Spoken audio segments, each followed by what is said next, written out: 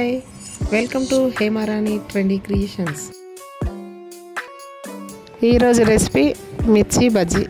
తయారు చేయడానికి కావాల్సిన పదార్థాలు శనగపిండి మిరపకాయలు ఓమా ఉప్పు సోడా ఉప్పు. ముందుగా ఒక బౌల్లో శనగపిండి తీసుకొని కొంచెం ఓమా వేసి సోడా ఉప్పు ఉప్పు వేసి నీళ్ళు వేసి ఉండలు లేకుండా గట్టిగా కలుపుకోవాలి.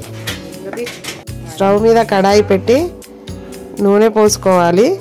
కట్ చేసిన మిర్చీలు ఉప్పు పెట్టి శనగపిండిలో ముంచి ఆయిల్ వేడెక్కినాక ఒకదాని తర్వాత ఒకటి వేసుకోవాలి.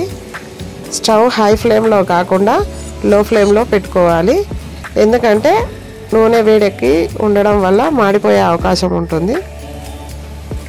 ఇప్పుడు ఒకవైపు కాలిన తర్వాత మరొక వైపుకు తిప్పుకొని మంచి రంగు వచ్చిన తర్వాత మిర్చీలను తీసి పక్కన పెట్టుకోవాలి.